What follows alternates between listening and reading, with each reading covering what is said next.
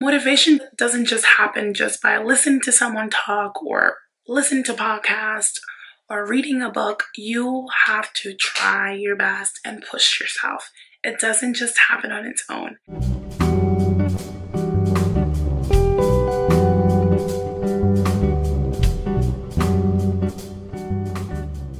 Hello everyone, welcome to my channel if you're new here and welcome back if you're already part of the tribe.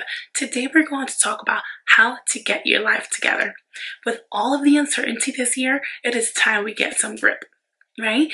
This year has taught us how much is out of our control. I've definitely been working on getting my life together. I am definitely feeling like my life is finally coming together. So I want to share what has worked for me and hopefully it can help you out too. The first one and what's more important to me is to be present. When time is so uncertain, when life feels like it's falling apart, it's very easy to be stuck in the past or in the future. Anywhere else but the present. Through the storm, we cannot forget how blessed we are. Although some people may not be surrounded by their loved ones, and I totally understand that, we are still blessed to be here. To still be here after such a a pandemic, a traumatic moment, year, not moment, year. So many months, weeks of uncertainty, of stress, of everything you can possibly think of because I would have never imagined that we will be here. We will have to stay quarantined, stay in your place wherever you live. Be away from family members if you aren't feeling well. Never in a million years would I have thought that I would experience something like this. I've watched movies where this happened, and to live it is something completely different. So, moments where things feel so dark, we have to remember what we're grateful for. So that's what has helped me. Being present, taking in the positive, right? Because watching the news and all that negativity, we have to know and be fully aware of the good that we still have in our lives. Another thing that has helped me feel accomplished and feel like I can start a brand new day on a good note is making my bed. And yes, I know we've all talked about it. I'm sure you've heard it so often, but it's true. Once you finally get yourself out of bed and ready to start your day, making your bed definitely give you a sense of accomplishment and there are many many tests that proves it and i believe it i believe it because it happens to me when i get my bed ready i am ready to tackle anything else. If there's anything else I have to clean, anything else around the house, it doesn't have to even be in the room.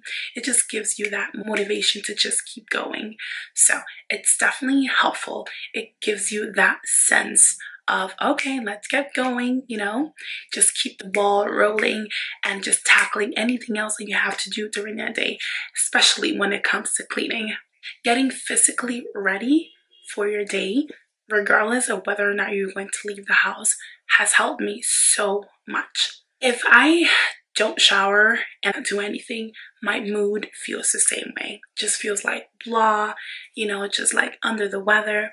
But if I shower and get ready, do my hair here and there, nothing crazy, right? Because I'm not gonna, I'm not going to waste any hair products when I know I'm not leaving my house.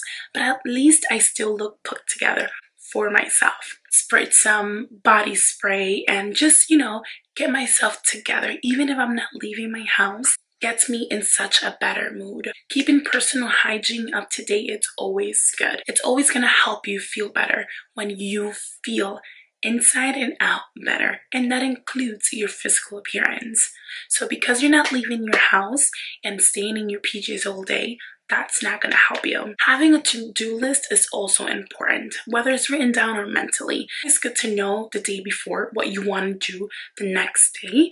That way you know exactly what's going to happen the following day. So after you get your bed ready, after you shower and you get into your fresh new clothes and get yourself put together, knowing what comes after is always good. Tackling your tasks. Don't put anything to the side because you feel like it's a big task. Take things step by step. Tackle each task one at a time. Don't feel like you have all these things you have to accomplish today. What worked for me was not seeing everything that I had to do as one big project or having to do it all in one day. Focused on each task individually. I gave it my undivided attention without having to think of everything else that I had to do. Because when you focus on everything you have to do, your mind is really all over the place. So tackling each task individually was very, very helpful to me. Once you see that you tackled one task, you're just going to want to keep going. When you get things done, it motivates you to continue going. When you feel lazy or when you don't motivate yourself or get yourself ready to continue your next task, you're not going to feel motivated. You have to take the initiative, you have to keep your word and everything that you have to do and hold yourself accountable. Motivation doesn't just happen just by listening to someone talk or listening to podcast or reading a book. You have to try your best and push yourself. It doesn't just happen on its own. So get yourself to do what you need to do, but find a way that works for you. If it works for you to do certain things on a certain day, then do that. If it works better for you to do it all in one day, then do that. But don't overwork yourself. I know you may not have a lot of time. You may have other things you have to take care of. However, find a time that works best for you physically and mentally. Because if you overwork yourself, you know you're overworking yourself all around. That's why it's important to find what works for you. That way, it doesn't just have your mind spinning everywhere and your thoughts and your head overall all cluttered up. Find what works for you. That way, you can be better in anything that you have to do, and everything else that you have to do, whether it's a task, whether it's your children, whether it's any part of your life. Speaking of decluttering, decluttering as you go has helped so, so, so, so much. So last year for uh, the beginning of this year, every year I try to get rid of things I don't use, things I haven't used for many, many months or weeks, and just get rid of it. So that's what I did last uh, December. So December 2019, I got rid of so many things. So I'm no longer waiting until the year ends so I can get rid of everything. As I go, I just keep getting rid of what I don't need. Whatever I see that I don't use, I get rid of it.